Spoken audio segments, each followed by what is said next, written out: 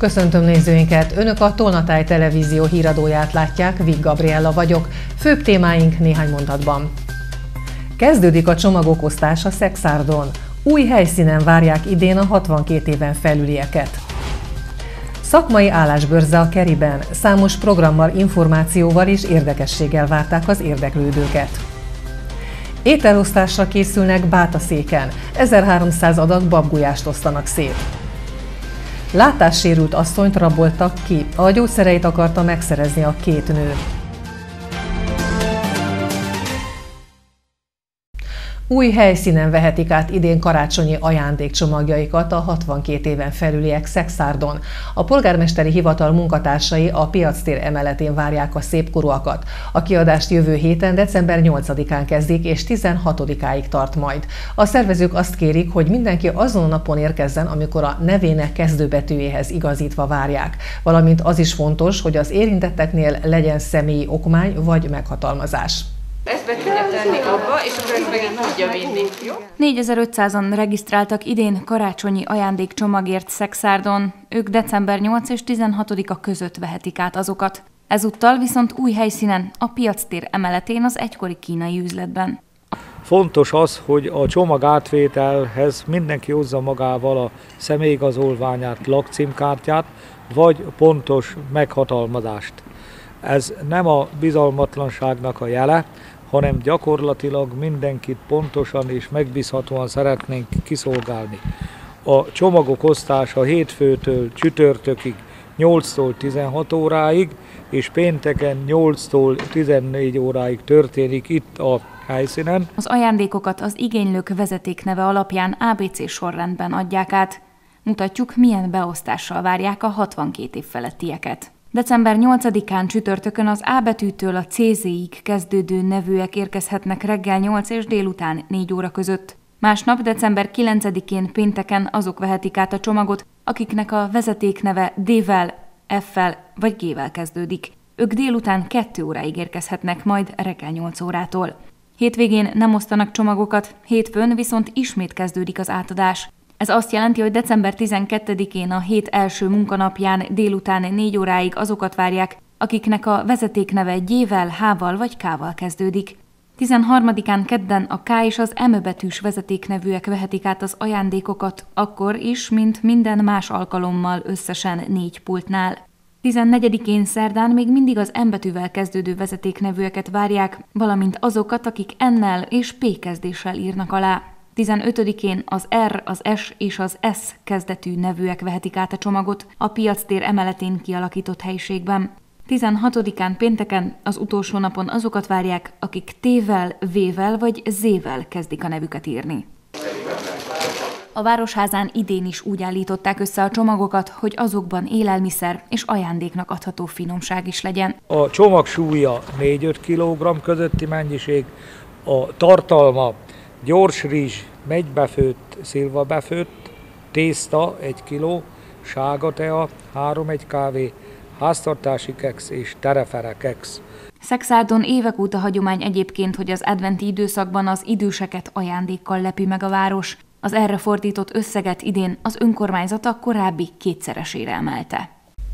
Több mint 120 nehézsorsú gyermeknek készít karácsonyi ajándékcsomagot a Bátaszéki Gondozási Központ, hogy nekik is szép legyen az ünnep. Ehhez várják még december 9-ig a lakosok felajánlásait. Édességeket és jó állapotú gyerekjátékokat, mesekönyveket, társasokat vagy készségfejlesztő játékokat vihetnek be az adakozni vágyók.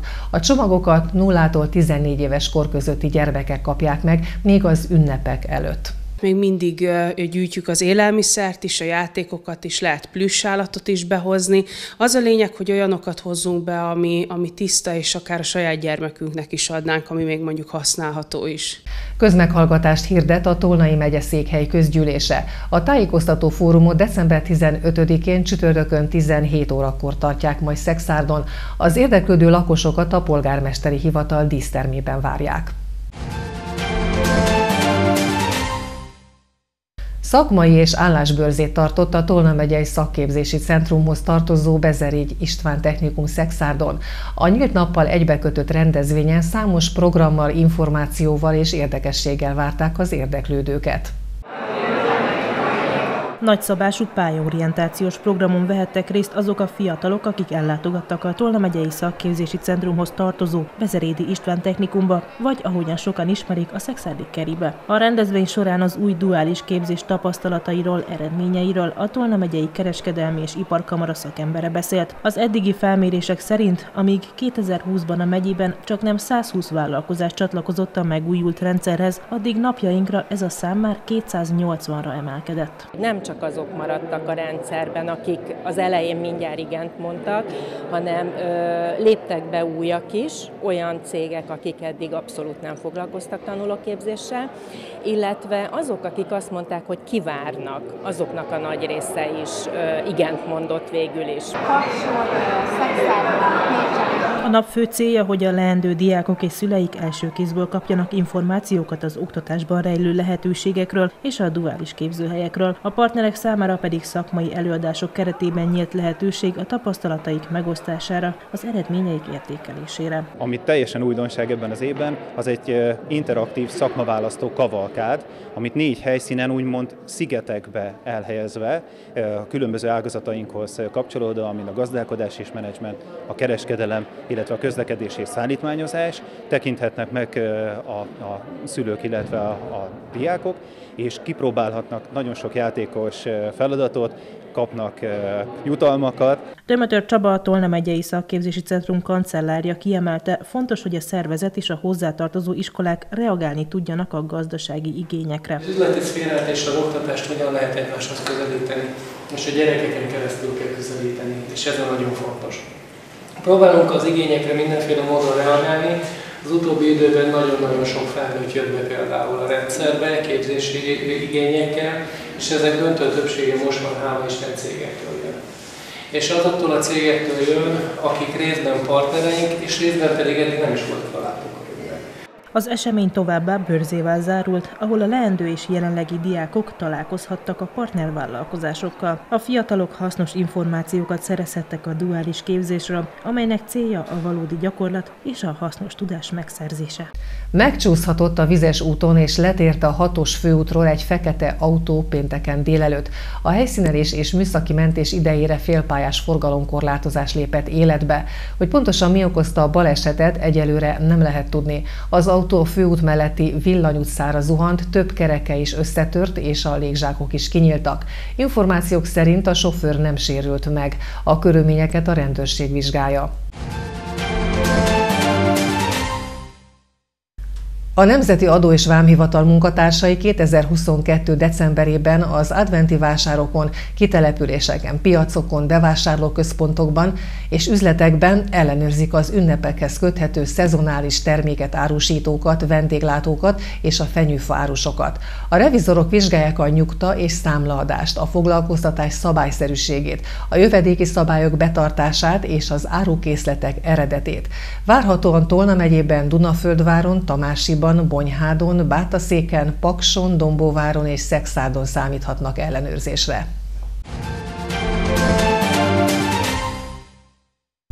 1300 adag babgulyást osztanak szét Bátaszéken a rászorulóknak és az arra járóknak december 24-én délelőtt. Az Együnk Együtt Egyformát nevet viselő kezdeményezést 2018-ban indította el egy helyi vállalkozó jótékonysági célból, már azonban egy jó hangulatú közös karácsonyvárásán nőtte ki magát. Ötödik éve szervezik meg az Együnk Együtt Egyformát elnevezésű programot Bátaszéken. Az eleinte jótékonysági céllal indult kezdeményezés annyira kinőtte magát, hogy már 1300 főre főzik a hagyományos babgulyást. Most már az utolsó években azt láttam, az utolsó két éve főleg, akik itt járók előkönnek, azokat is megszólítjuk. Pont annak a, a fényében, hogy együnk együtt egyformát. Tehát alakuljon át egy olyanná, hogy ez nem egy ilyen segély, hanem legyen egy olyan nap, amikor 24-én mondjuk az emberek, bátaszéki emberek, tényleg együnk együtt. Az 1300 adag ételhez 18 láda füstölt húst, 50 kg babot és 30 kg csipetkét használnak fel, a zöldségről és a többi hozzávalóról nem is beszélve. A segítő csapat létszáma is évről évre nőtt, több gyermek is részt vesz a jótékonysági megmozduláson. Látni azokon a gyerekeken, hogy mindegy, hogy fúj a szél, hordja a havat, vagy éppen milyen idő van, hogy olyan örömmel teszik, hogy érezni rajtuk, hogy megérezték, hogy jobb adni, mint kapni. Na most én úgy gondolom, hogy a felnőtteknél is ez utolérhető, és ezért én úgy gondolom, hogy ez érdemes megtenni. A bátaszéki rászoruló családokkal a gondozási központ segítségével vették fel a kapcsolatot, és az évek során azt tapasztalták, hogy többen nem tudnak vagy szégyelnek kimenni az ételosztásra, így többükhöz autóval szállítják ki a babgulyást. Aki szeretne együtt enni egyformát, az igyekezzen Szenteste napján, mert hamar elfogy a közel 850 liter babgulyás. Kedélyjavító gyógyszerekért raboltak ki egy idős látássérült asszony Sárszent Lőrincen. A gyógyszereit akarta megszerezni a két nő, végül miután bántalmazták, mindent elvittek, amit a házában találtak. A támadókat most ítélte el a bíróság. Mosószeres flakonok, karóra és kozmetikumok. Mindent vitt a két rablónő, amit az áldozatházában találtak. Eredetileg azért mentek oda, mert a súlyosan sérült, idős látássérült nőnek felírt kedélyjavítókat akarták megszerezni. Csak hogy az asszony nem adta oda azokat. Ekkor kezdtek el dulakodni. A sértettet fellökték, majd egyikőjük a földön rúgdalta a maga tehetetlen nőt. Végül feljelentés lett az ügyből, abból pedig bírósági tárgyalások. Most született ítélet.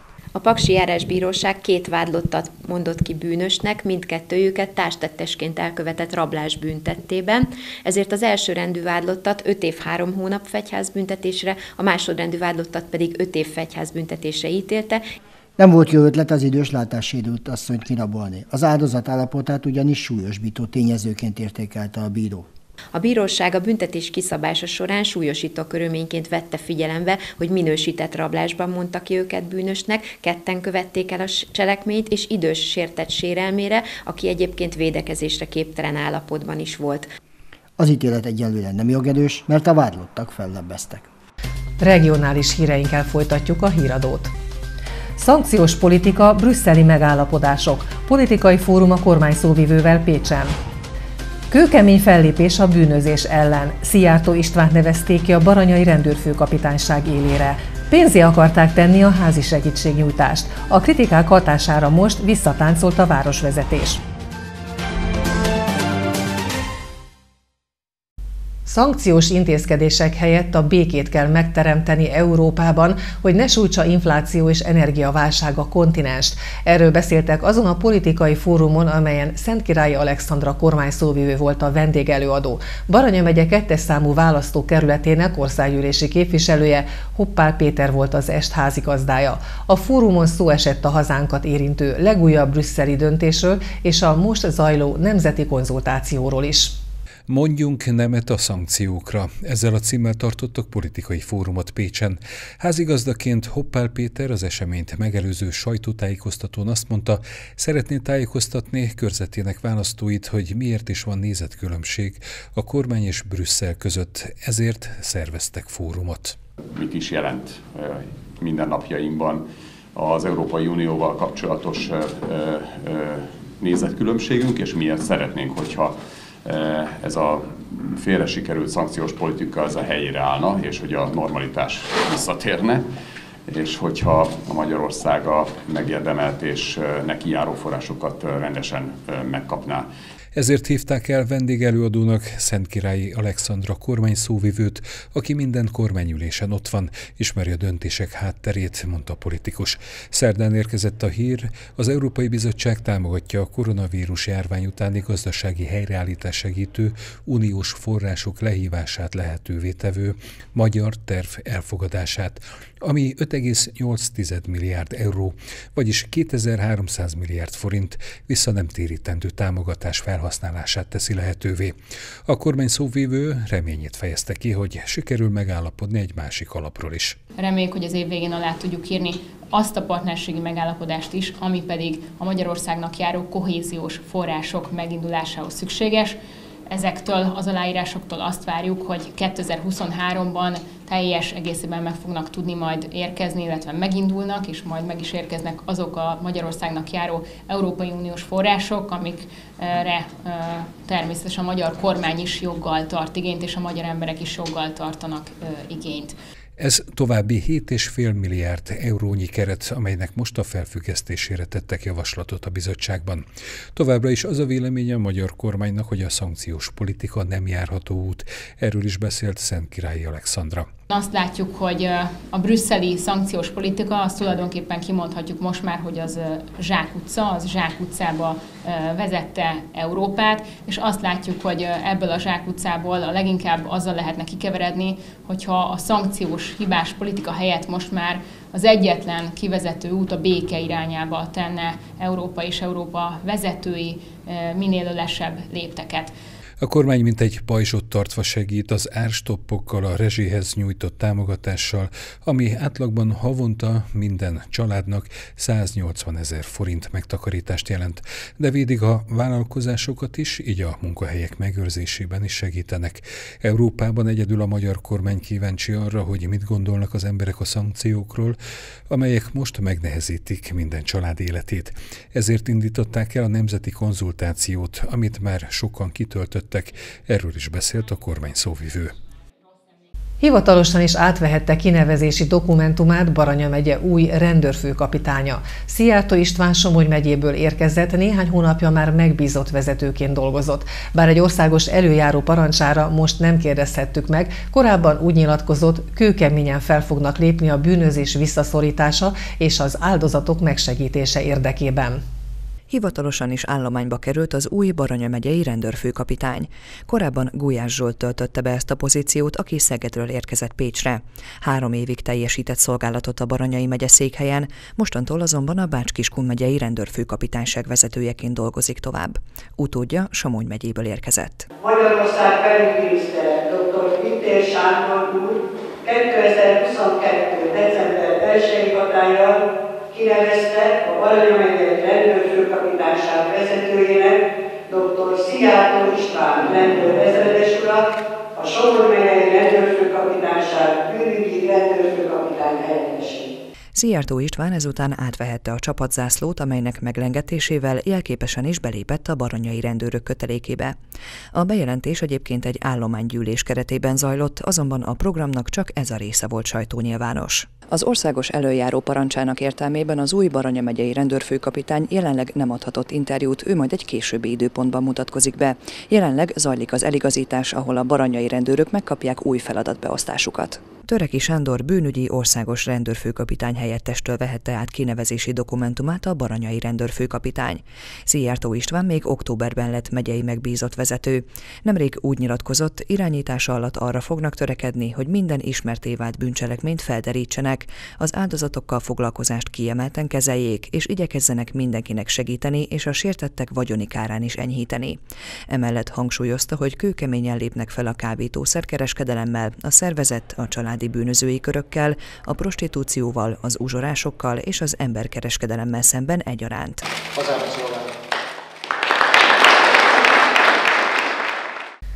Egyelőre nem lesz fizetős a pécsi jelzőrendszeres házi segítségnyújtás. A kritikák úgy tűnik hatottak, és lemondott egy időre erről a városvezetés, mondta stábunknak a polgári oldal képviselője. A szolgáltatáshoz használt készülék bérlése került volna pénzbe. A rendszert úgy alakították ki, hogy egy gomnyomással segítséget kérhetnek az idősek otthonról, ha rosszul érzik magukat, vagy baleset érte őket. Képek a jelzőrendszeres házi segítségnyújtásban használható eszközökről egy gombnyomással segítséget hívhatnak az idősek, ha rosszul érzik magukat, vagy erestek otthonukban.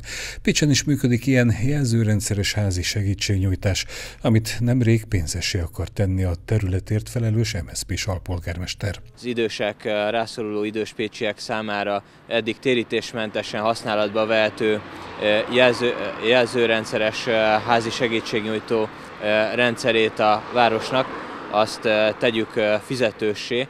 Azt szerette volna, hogyha az igénybevevők körét 350 főre csökkenti a város, és ők ezért a szolgáltatásért gyakorlatilag díjazást kell fizessenek a város felé, mi ezt megtámadtuk. A városi közgyűlésen volt téma ez a szolgáltatás, ahol kritizálta a polgári oldal a baloldali elképzelést. Ennek eredménye is lehet, hogy változtattak a korábbi terven.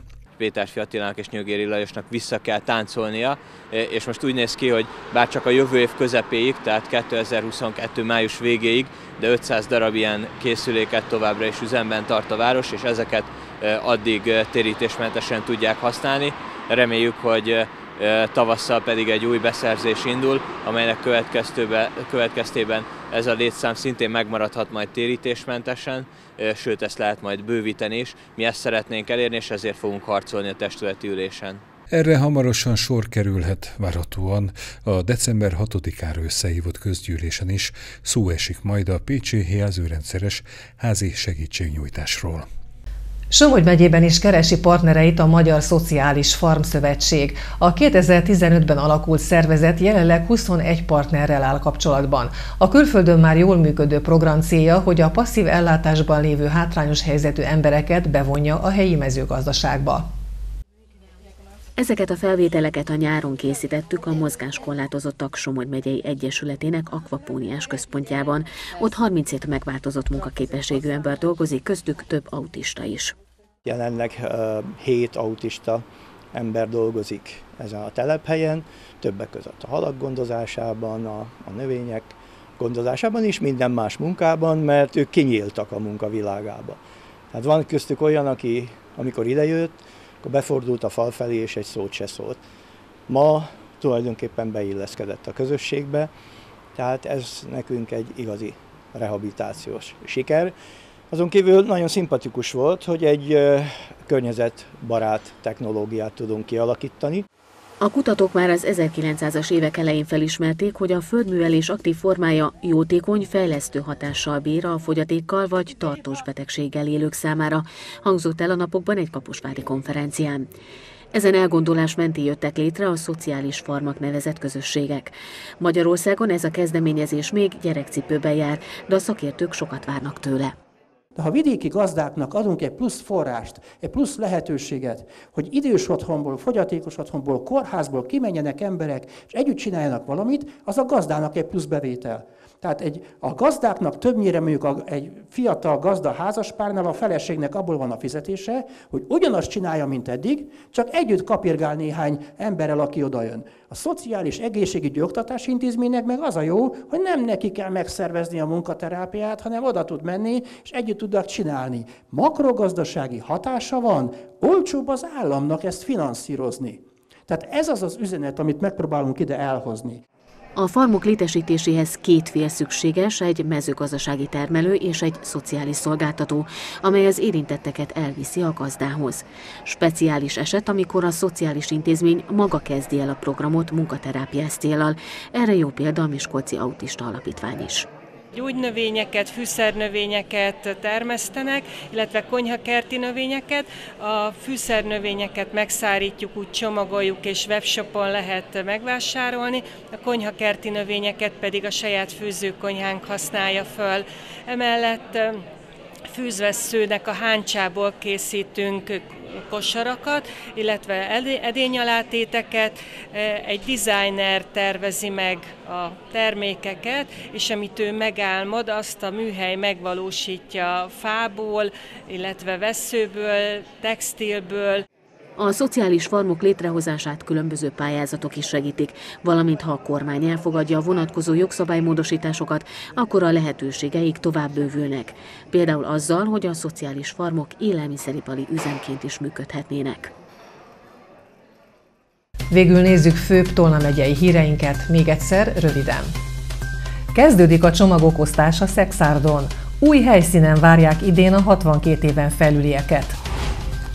Szakmai állásbörze a Keriben, számos programmal, információval és érdekességgel várták az érdeklődőket. Ételosztásra készülnek Bátaszéken, 1300 adag babgulyást osztanak szét. Látássérült asszonyt raboltak ki, a gyógyszereit akarta megszerezni a két nő. Szombaton nagyrészt borongós, szürke időre van kilátás. Említést érdemlő csapadék nem hullik, bár a szél kisé megélénkül, enyhe idő ígérkezik. Vasárnap és hétfőn erősen felhős lesz az idő, néhol csapadékra és kötfoltokra is kell számítani. A hőmérséklet a hét első napján elérheti a 10 Celsius fokot. Friss hírekkel legközelebb hétfőre este jelentkezünk. Addig is kövessék műsorainkat, illetve keresenek minket a Facebookon, ahol naponta friss hírekkel, érdekességekkel várjuk Önöket. Ha látnak valamit, ami Önök szerint figyelemre méltó, akkor azt osszák meg velünk, hogy másoknak is megmutathassuk. Már a köszönöm figyelmüket, viszontlátásra!